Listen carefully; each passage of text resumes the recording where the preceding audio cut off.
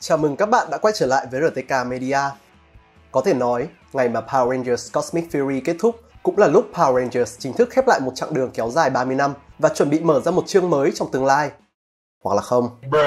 Vậy nên hôm nay, hãy cùng RTK Media chúng mình đánh giá và xếp hạng top 6 phần phim Power Rangers hay nhất xuyên suốt 30 năm lịch sử thương hiệu phim nhé. Lưu ý, bài review sẽ dựa trên cảm nhận cá nhân của người viết, bạn Davis Chan, cùng một số thành viên khác của RTK Media. Ngoài ra nhân dịp này, chúng mình cũng xin giới thiệu tới cho các bạn một giọng đọc mới trên kênh, anh Tepe Kazuma, thành viên đã gắn bó cùng với RTK Media từ những ngày đầu thành lập kênh dưới vai trò cố vấn, hỗ trợ kịch bản. Ở video lần này, hai anh em tụi mình sẽ cùng nhau giới thiệu những phần phim Power Rangers hay nhất theo đánh giá của nhóm tới cho các bạn nhé. Giờ không rông dài thêm nữa, chúng ta cùng bắt đầu luôn nào.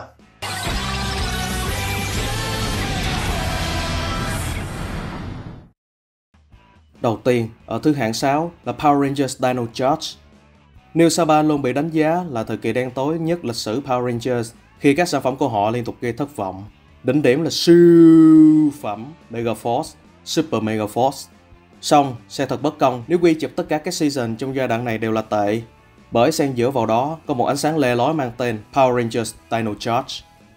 65 triệu năm trước, 10 tinh thể quyền năng Energem đã được một người hành tinh tên Keeper trao cho 10 loài khủng long trên trái đất. Trước khi tên thợ săn tiền thưởng Liên Ngân Hà Sledge khiến cho giống loài khủng long bị tuyệt chủng. Ngày nay, Sledge quay trở lại trái đất để tiếp tục truy lùng các viên Energem. Nhưng lần này, hắn phải đối mặt với nhóm người hùng Power Rangers Dino Charge. Đặt lên bàn cân so sánh với hai bộ tiền nhiệm cùng thời là Samurai và Megaforce Power Rangers Dino Charge đã có sự tiến bộ rõ rệt có những nét đặc trưng của thời kỳ Disney như những miếng hài, diễn xuất và sự tương tác giữa các diễn viên. Và đã lâu lắm rồi mới có một cặp đôi Ranger được xây dựng một mối quan hệ tình cảm dễ thương như Tyler và Shelby. Đặc biệt, series này cũng đánh dấu lần đầu tiên cho một nhóm Power Rangers có thành viên là người của quá khứ, với Koda là người tiền sử, còn Sir Ivan là người trung cổ. Có lẽ việc chuyển thể chủ đề đậm chất văn hóa Á Đông như ninja và samurai và chủ đề mang yếu tố kỷ niệm vẫn còn quá sức với Saban. Vậy nên, khi quay về đề tài quen thuộc là khủng long, điều đã từng tạo nên sự thành công của Mighty Morphin Power Rangers và Dino Thunder, Saban mới thực sự đi đúng hướng. Có thể nói, những gì tinh tế nhất của Neil Saban đã để lại hết ở Power Rangers Dino Charge. Nằm ở vị trí thứ 5 trong bảng xếp hạng là Power Rangers Jungle Fury. Quá tức giận vì bị khai trừ khỏi học viện võ thuật Paishua một học viên tên Jarrod trong lúc giao tranh về Master Mao đã vô tình giải phóng cho Daishi, một linh hồn ác quỷ bị phong ấn suốt 10.000 năm. Daishi chiếm lấy cơ thể Gerard và đoạt mạng Master Mao.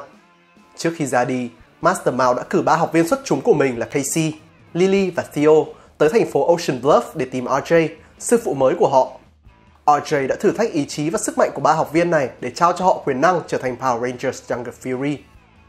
Tuy nội dung có đôi chút giống với Geki Ranger, nhưng phim đã lược bỏ kha khá những tập nghỉ, co thời lượng lại vỏn vẹn 32 tập. Nếu như Saban từng thất bại trong việc chuyển thể đề tài võ thuật khi bỏ qua Die Ranger, thì Disney đã làm rất tốt công việc của mình. Nếu các bạn từng nghĩ Lightspeed Rescue là season duy nhất có Ranger độc quyền là Titanium Ranger thì có lẽ là bạn đã nhầm. Khi mà Jungle Fury không chỉ có một mà là tận 3 Rangers độc quyền là những Spirit Rangers bao gồm Elephant Ranger, Bat Ranger và Shark Ranger Jungle Fury đã để lại dấu ấn cho khán giả ở tuyến Ranger thứ chính.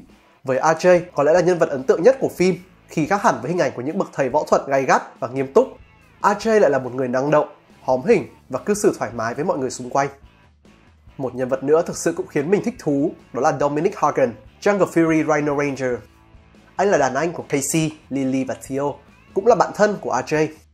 Về căn bản thì tính cách của anh này được xây dựng khá giống với Hisatsuken, Geki Chopper trong Geki Ranger một thiên tài lười nhác ham chơi, thích đi đây đi đó. Anh không chọn con đường là master như những người còn lại. Tuy nhiên, vì xuất hiện khá trễ so với số lượng tập phim ngắn ngủi còn lại, nên anh không có quá nhiều đất diễn. Nhưng nhìn chung cũng đủ để lại dấu ấn trong 3 tập phim anh debut. Vị trí tiếp theo sẽ dành cho season 3 của Mighty Morphin Power Rangers. Với sự trợ giúp của em trai Rita là Rito Rivolto, binh đoàn của chú tể Z đã hoàn toàn phá hủy được Thunder Megazord và White Tigerzord, đẩy các Rangers vào tình thế tuyệt vọng. Trong tình cảnh ngặt nghèo đó, Zordon đã gửi họ tới sa mạc của nỗi tuyệt vọng, Desert of Despair, để gặp Ninja, một chiến binh huyền thoại, người đã tạo ra Power Coins, đồng thời trao cho họ sức mạnh của ninja và những Ninja Zords. Nhiều câu hỏi sẽ được đặt ra là tại sao không phải là Season 1 hay Season 2? Có thể nói rằng Season 1 mang nhiều yếu tố hoài niệm tuổi thơ, nhưng khách quan mà nói, phần nội dung và kỹ xảo vẫn còn rất nhiều hạn chế.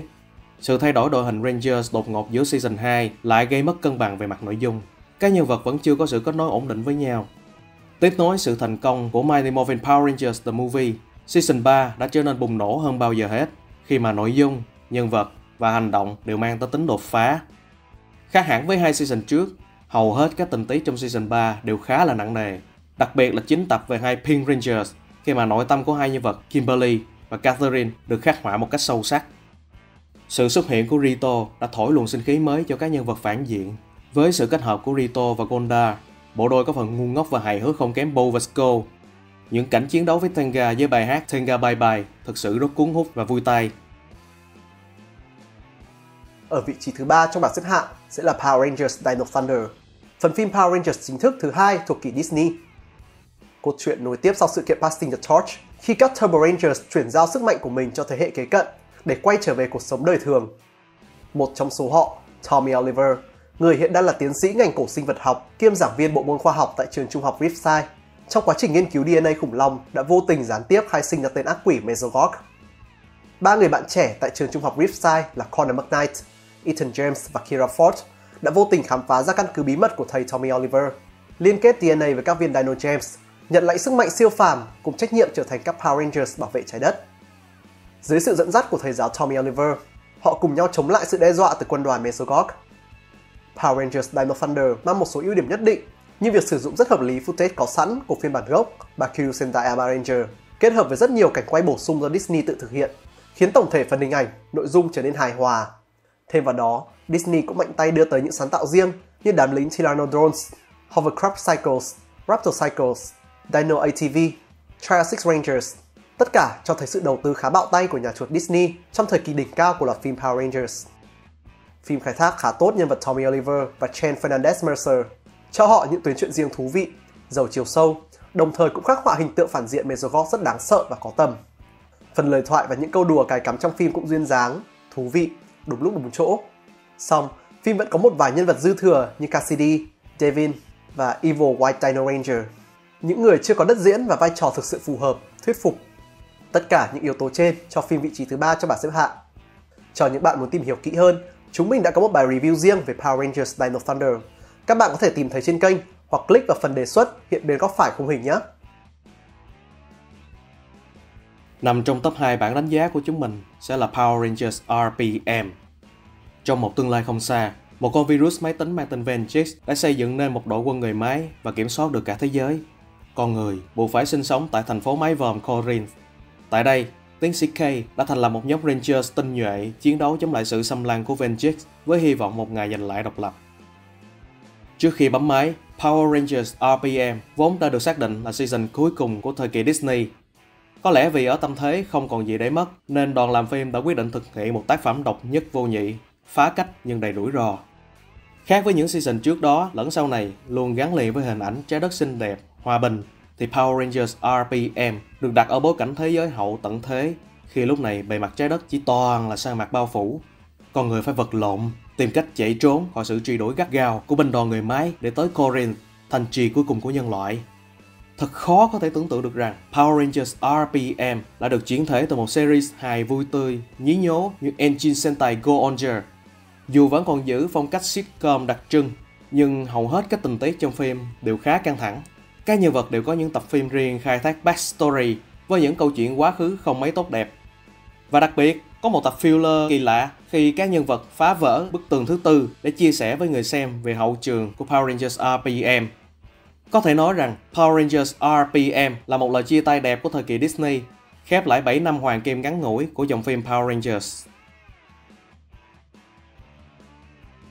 Đứng ở vị trí cao nhất trong bảng xếp hạng, theo đánh giá của nhóm chúng mình là Power Rangers Ninja Storm, phần phim chính thức đầu tiên thuộc kỳ Disney. Sâu trong những ngọn núi là học viện bí mật đào tạo những ninja. Văn thư cổ đại ghi chép rằng ba người xuất chúng nhất trong tất cả sẽ được lựa chọn để trở thành các Wind Rangers, chiến đấu chống lại cái ác bảo vệ bình yên cho nhân loại. Bộ phim mở đầu xoay quanh ba học sinh cá biệt của học viện là Shane Clark, Tori Hansen và Dustin Brooks. Một ngày xấu trời nọ khi quân đoàn ninja tà ác từ ngoài vũ trụ cầm đầu bởi Lothar tấn công học viện và bắt nhốt tất cả các học viên. Ba thanh niên chảnh mảng vì bận nán lại giúp người gặp nạn đã thoát khỏi đại họa này. Là niềm hy vọng duy nhất còn sót lại, họ được gửi gắm các Win Morphers trở thành các Win Rangers để đứng lên đương đầu với thế lực quân đoàn Lothar, bảo vệ bình an cho vịnh Blue Bay và cả địa cầu. Là phần phim mở bát của nhà chuột Disney, có thể nói Power Rangers Ninja Storm là một bộ phim có chất lượng tốt ở hầu hết các mặt. Phần cốt truyện xây dựng ổn, khá chặt chẽ, đầy đủ cả cao trào và những phân đoạn giải trí, tạo sự hứng thú, giữ chân khán giả xem phim. Phim cũng có ít tập thừa, tập nghỉ nhàm chán. Đồng thời có nhiều sáng tạo riêng so với bản gốc Ninfu Sentai Hurricane chứ không hề lười biếng bê nguyên si về. Giống với Dino Thunder, vì cùng nằm trong thời kỳ đỉnh cao về chất lượng và mức đầu tư của nhà chuột Disney, phim cũng có rất nhiều trang thiết bị mới mẻ như Lightning Morpher, Tri-Batalized Armor, Ninja Sword Gold Mode, những chiếc Tsunami Cycles, Mobile Command Center, Dragon Force Vehicle, Ninja Glider Cycle, vân vân. Những miếng hài trong phim tuy hơi quá lố và ô dề nếu so với những phần phim sau đó, nhưng vẫn rất giải trí, duyên dáng, đem tới sự thư giãn cho khán giả. Phần nhạc nền cũng được biên soạn chỉn chu với những ca khúc chiến đấu bắt tai, sôi nổi, tạo khí thế, cao trào vô cùng hiệu quả. Thêm nữa là phần hành động rất tuyệt vời với những cảnh chiến đấu nhào lộn vô cùng đẹp mắt, đậm chất ninja và cả những trường đoạn giao đấu bằng xe gắn máy, tất cả đem đến trải nghiệm xem phim vô cùng tuyệt vời cho khán giả. Những yếu tố này cho Power Rangers Ninja Storm thứ hạng cao nhất trong bảng xếp hạng. Một phần phim vừa được đầu tư mạnh tay, vừa rất gần gũi, tích cực, dễ xem. Chúng mình đã có bài review riêng đánh giá chi tiết về series này. Các bạn có thể tìm xem trên kênh hoặc mục đề xuất sắp được hiển thị ở góc phải khung hình nhé. Vậy trên đây là xếp hạng đánh giá của nhóm chúng mình về top 6 phần phim Power Rangers hay nhất xuyên suốt 30 năm phát sóng của chuỗi phim. Vì bài đánh giá này là quan điểm cá nhân của những thành viên trong RTK Media, nên mong các bạn xem video với tâm thế cởi mở, tham khảo nhé. Nếu có cảm nghĩ gì về video này, cũng như về giọng đọc mới của kênh, anh TP Kazuma, thì đừng ngần ngại chia sẻ cho chúng mình được biết nhé. Đừng quên like, share và subscribe cho kênh để tạo động lực cho chúng mình ra mắt thêm nhiều video mới. Nếu như yêu thích những sản phẩm của nhóm, bạn có thể nhấn vào nút cảm ơn một chức năng mới của YouTube giúp khán giả tri ân các content creator hoặc tham gia gói hội viên của chúng mình với bốn mức giá 30.000, 50.000, 100.000 và 500.000 để nhận những quyền lợi cũng như những video độc quyền, ưu đãi đặc biệt chỉ dành cho hội viên. Ngoài ra, bạn cũng có thể ủng hộ trực tiếp cho nhóm thông qua số tài khoản cá nhân luôn được mình đính kèm ở phần mô tả để yêu cầu chúng mình sản xuất nội dung mà bạn mong muốn cũng như để ủng hộ công sức làm việc của cả nhóm. Cảm ơn các bạn đã dành thời gian xem clip. Mình là Kaitoki của RTK Media. Xin chào. アンネットは全て封印したお前が最後だジョーカー 俺とお前は戦うことでしか分かり合えない。